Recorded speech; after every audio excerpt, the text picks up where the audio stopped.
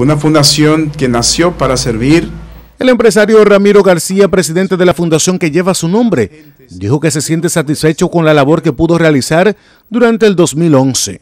García anunció que durante el 2012 tienen agenda la realización de 12 jornadas en distintos puntos del país, entre ellas médicas y de distribución de alimentos y juguetes. Robert Antonio, Objetivo 5.